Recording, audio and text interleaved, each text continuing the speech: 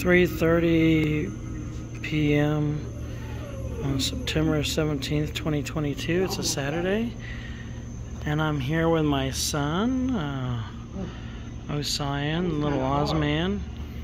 And here's my girlfriend Tessa, and her first time here, experiencing the colorful environment of the indoor blacklight golf here at uh, Golf Shores uh, Family Fun Center here in um, Corydon, Indiana.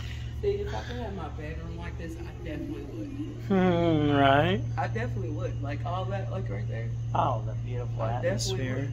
would. So this would like. And then these are fun noodles from a swimming pool.